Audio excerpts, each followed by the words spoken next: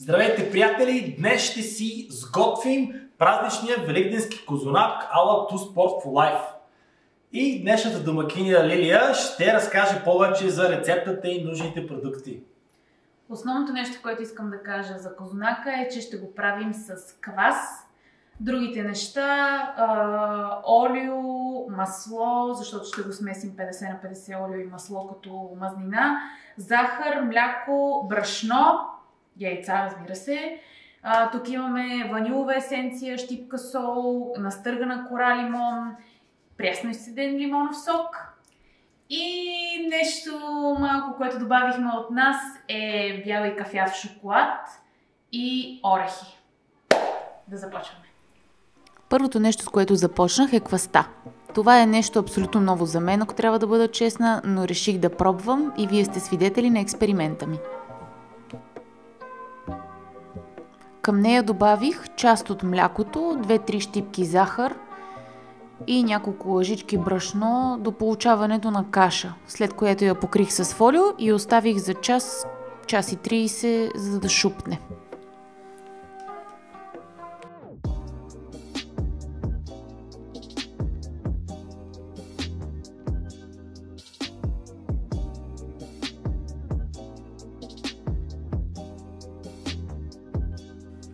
В тенджера на слаб огън изсипах останалата част от млякото и захарта, за да може да се стопи по-лесно.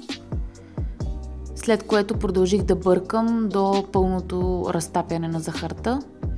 Както виждате, получи се нещо като мляко с какао.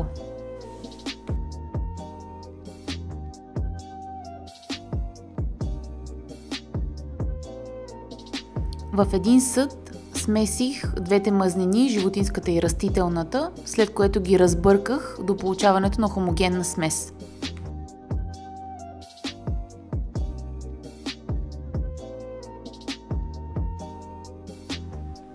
В по-голяма купа щупих яйцата и ги разбих заедно с ваниловата есенция.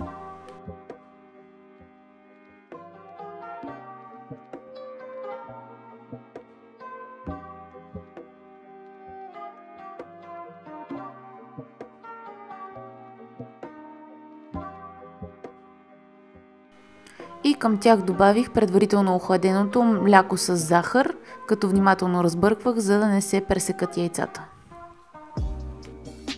Както във всеки сладкиш, така и аз сложих щипка сол в брашното, след което започнах да го добавям към течните съставки.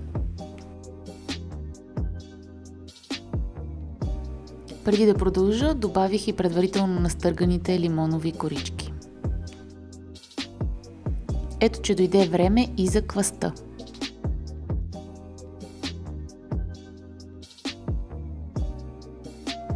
След като стане сложно бъркането, преминавам към месене. За тази цел препоръчвам да си свалите бижутата, защото след това доста трудно ще ги почистите.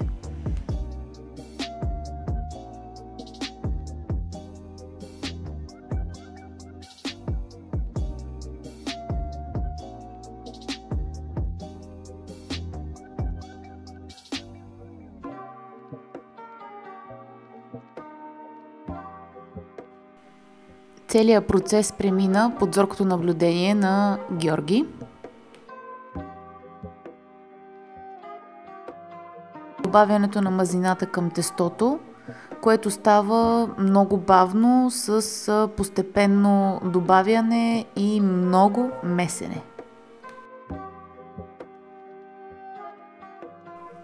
От баба знам, че за да стане по-добре, козунака трябва да се набие тестото, затова и аз реших да го ударя няколко пъти в плота.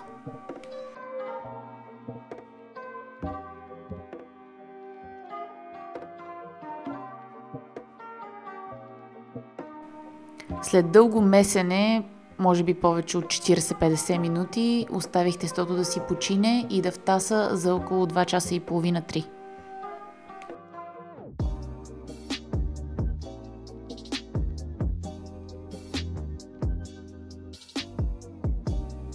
След втасването, макар и с незадоволителен резултат, примесих плънката от шоколад и орехи към тестото и го оставих да пренощува в хладилника.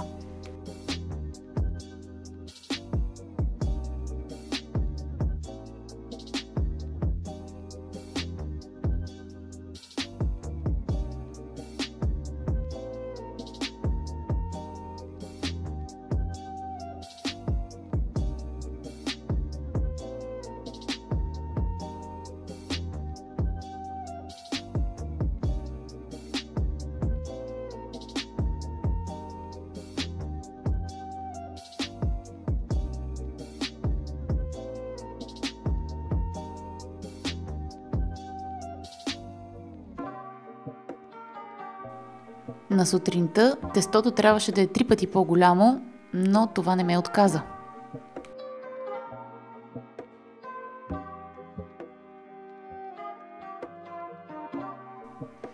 Разделих тестото на три части и се постарах да направя три красиви козунака.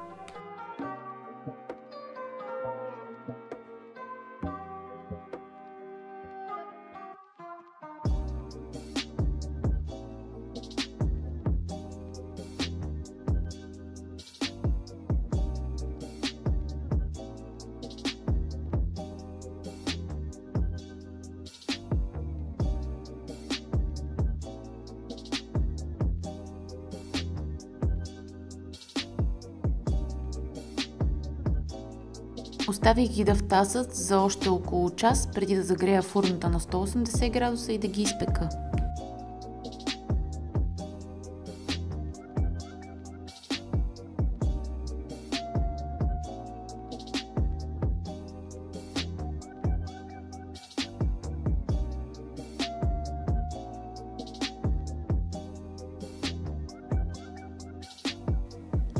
Преди да ги извадя, с клечка проверих дали са добре изпечени.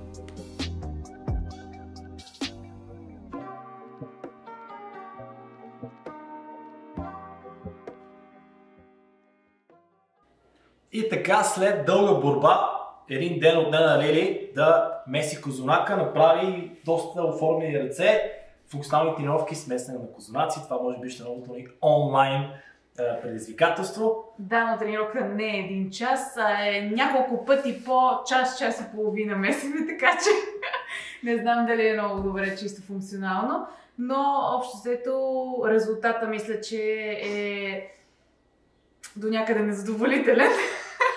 В смисъл, не ни втаса така както трябваше да втаса козунака, но пък е изключително вкусен, защото един козунак вече изчезна.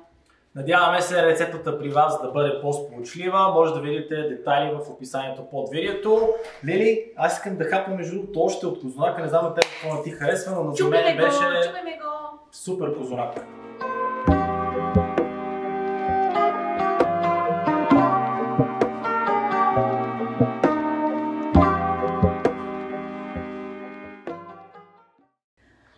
Това беше от нас, приятели. Надяваме се да ви е полезна рецептата. Имаше много забележки, но като за първи път, мисля, че доста добре стана. Яде се, изяде се и ще се изяде. Искаме да ви пожелаем светли празници, да бъдете много здрави и изплутени, независимо от ситуацията, в която се намираме. Джоб, няма ли кажеш нещо? Искам козунак. Кола първо. Малко кола, първо кола. Страшен, страшен, страшен.